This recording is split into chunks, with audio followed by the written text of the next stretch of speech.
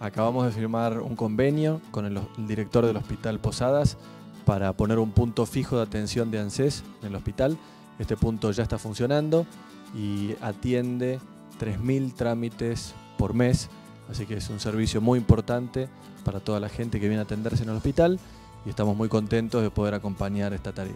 Y en esta gran comunidad que es el Hospital Posadas, con 17.000 personas que concurren por día, contar con este servicio es de vital importancia.